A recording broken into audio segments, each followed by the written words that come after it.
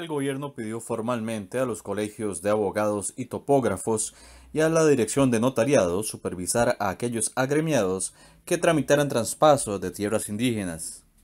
Desde hace más de cuatro décadas, una ley hace intransferibles esas tierras, pero según Juan Alfaro, viceministro de la presidencia, algunos profesionales podrían estar simulando trámites para aparentar legalidad en estos traspasos. Em, algunos abogados o abogadas, notarios, notarios, también topógrafos, porque la nota también se la enviamos al Colegio Profesional de Topógrafos, pues em, se lleven a cabo actos que busquen de alguna forma disfrazar de legalidad algo que, efectivamente no, no la tiene.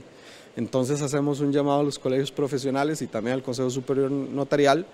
para que haga una advertencia, un vehemente llamado a atención eh, a revisar eh, las actuaciones que, se lleva, que llevan a cabo sus agremiados o las personas que ellos fiscalizan, de forma tal que cuando hagan algún tipo de acto dentro del territorio indígena sepan de este tipo de limitaciones. El viceministro fue enfático en que los territorios indígenas son de administración colectiva y nadie, ni indígena ni no indígena, puede vender ni comprar en esas zonas. Sí, desde el, 77, eh, desde el 77 existe la ley que dice que los territorios indígenas pertenecen a los pueblos indígenas del país y eh, hay que entender que es, una propiedad colectiva que ejercen los pueblos indígenas. Entonces, las personas no indígenas no tienen eh, la, oportunidad de adquirir territorios dentro de, dentro de territorios indígenas o propiedad dentro de territorios indígenas. La solicitud del gobierno se hizo en acatamiento de las medidas cautelares que pidió la Comisión Interamericana de Derechos Humanos